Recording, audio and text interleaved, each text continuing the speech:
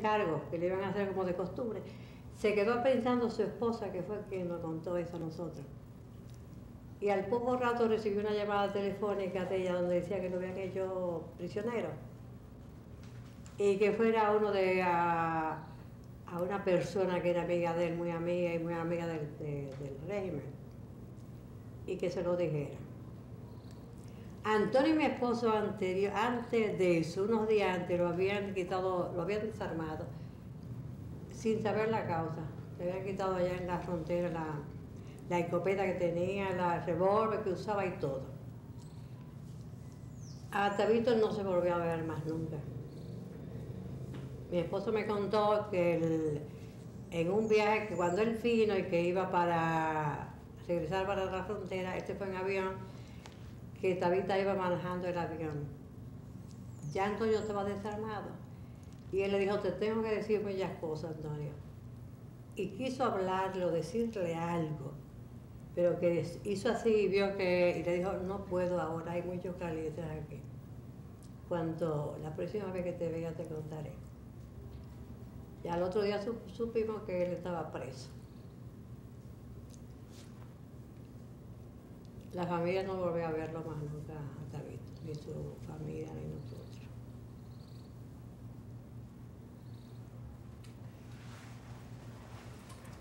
La, la historia de David es muy larga.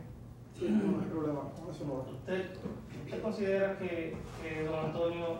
Ya con su descontento que había en general en el país y en él mismo, que cómo hablaba y cómo las muertes de tantas personas en cada invasión venían casi siempre familias de uno. En todas las invasiones venían familiares de uno. Eh, nosotros estábamos catalogados en Moca como enemigos del régimen que mi padre, por ejemplo, sea político, porque mi papá nunca fue político. No quería saber el Trujillo, ni de su régimen, ni de nada, pero no hablaba porque mi papá era un hombre que no hablaba, solamente era, lo tildaban de enemigo porque era sobrino de Horacio Vázquez, aquí en Trujillo de la Mi papá no fue nunca político, pero cada vez que aparecía un letrero con abajo Trujillo, Trujillo esto, mi papá era prisionero. Eh, una vez fue pasó tres meses y salió muy mal él, su hermano, unos primos, que lo llevaron a una cárcel de, en ese entonces que se llamaba Nigua, vestido de, gato y de todas esas cosas. Más, creía que lo iban a, matar.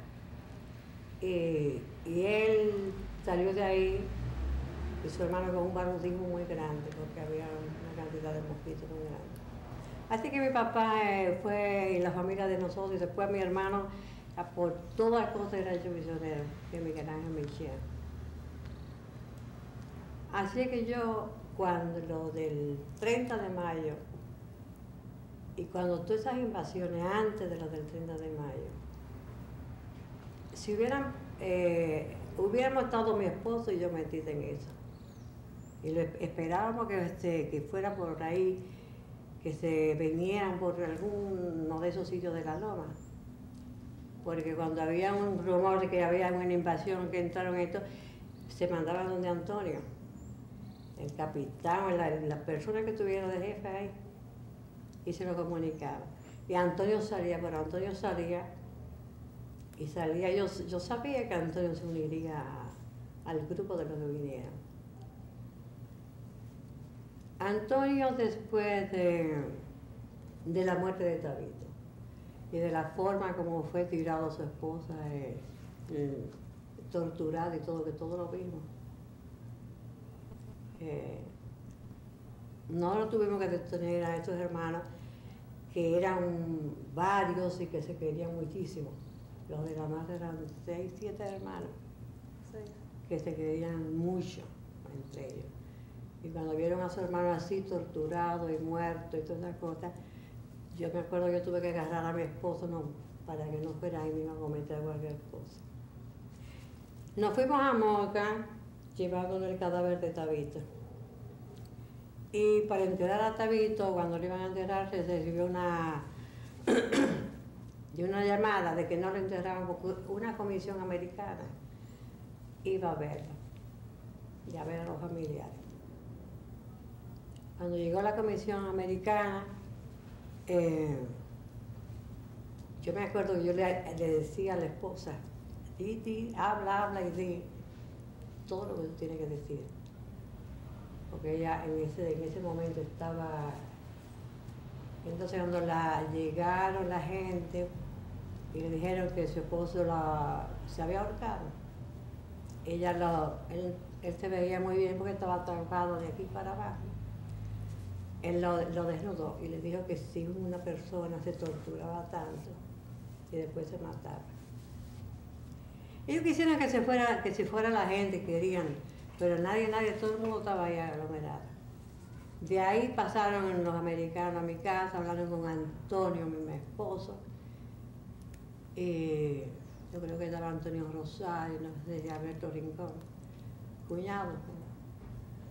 Y cuando le preguntaron que quién pensaba que era, le digo lo que ustedes mismos piensan que, que fue.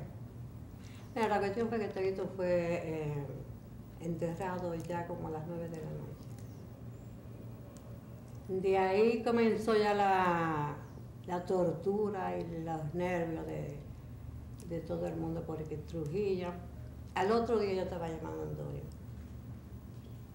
Y le dio el pésame, le dio el pésame, y le dijo que había sabido que sus familiares, los hermanos, creían que había sido él. Antonio le dijo que no, que no, que no, que no. Bueno, la cuestión es que de ahí comenzó que Antonio no pasaba un día ni dos que no fuera llamado por Trujillo. Yo le, ofreció, le dio contrato, le dio todo. Yo me acuerdo que yo me ponía como, lloraba y gritaba y decía que el estaba caliente y yo estaba aceptando puestos.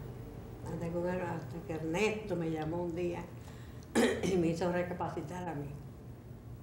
Pero tenía que ayudar porque cualquier cosa que, él hiciera era la, vida de todos sus hermanos que corría peligro. Y entonces ya ahí yo me puse, eh, cambié de actitud con mi esposo. Pero a veces venía ir a la capital y en el camino lo llamaban tres veces. Que Trujillo lo quería ver, que Trujillo lo quería ver, que Trujillo lo quería ver. Mi esposo no creo yo que solamente fue la muerte de Tabito que formó la, la copa, sino ya todo lo que había pasado antes. Porque él vivió, sintió todas esas invasiones, todas esas torturas, toda esa muerte de tanta familia, de una y de conocidos y de amigos y de personas, aunque no conociera uno. Y lo formó la muerte de su hermano. Pero él lo vio de una manera muy, muy callada, muy callada. ¿Cuándo él le enteró a usted? Yo estaba enterada desde siempre. Desde siempre yo estaba enterada porque nosotros hablábamos sobre de quién le iba a poner el cascabel a Gato Él era íntimo amigo de Juan Tomás Díaz. Y de las personas que él recurrió fue a Juan Tomás Díaz por primera vez que estaba de general en La Vega. Ustedes conocen a Juan Tomás Díaz. Bueno. Después de ahí, ya uno fue conociendo, yo, por ejemplo, a Teteña, Pastorita, García Guerrero, Estrella Nadalá, que era muy antiguo de nosotros. Me acuerdo de Antonio Inver, que fue a mi casa creo que una o dos veces. Yo, no sabía que él estaba en el complot. Y mi esposo me dijo que sí, que tenía un hermano prisionero. Eh, de esa noche, eh, es una noche terrible.